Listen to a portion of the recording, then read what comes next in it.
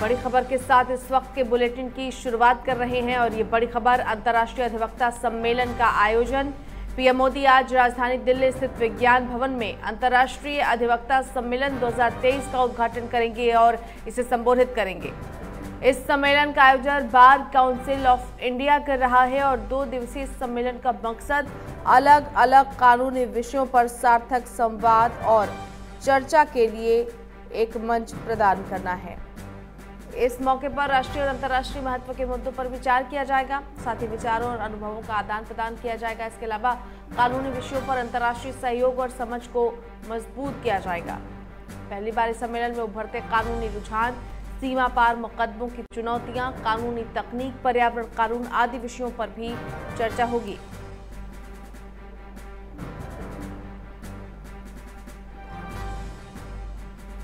चलिए सीधे रुक लेते हैं संवाददाता नितिन दीमान हमारे साथ जुड़ गए हैं। नितिन, अंतर्राष्ट्रीय अधिवक्ता सम्मेलन का आयोजन, क्या कुछ जानकारी इस कार्यक्रम की बाबत?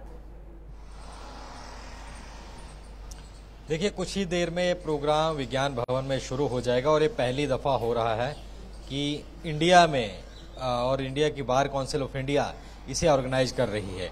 ये इंटरनेशनल लेवल का प्रोग्राम होता है जिसमें दुनिया भर के वकील एडवोकेट्स अधिवक्ता जो हैं, वो जुड़ते हैं और कानून को लेकर एक सार्थक चर्चा की जाती है।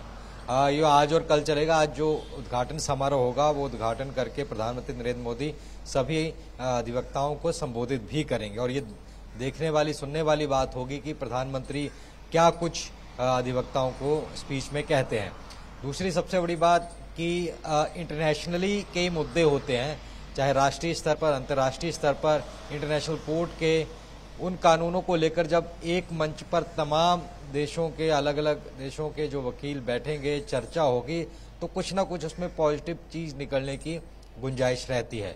दूसरा ये भी जानकारी मिल रही है कि पर्यावरण और प्रौद्योगिकी यानी कि इंफॉर्मेशन टेक्नोलॉजी आईटी और आ, आ, जो इन्वायरमेंट है उसको लेकर के एक चर्चा की जाएगी क्योंकि पूरे वर्ल्ड में इस वक्त इन्वायरमेंट को लेकर के चर्चा छिड़ी हुई है।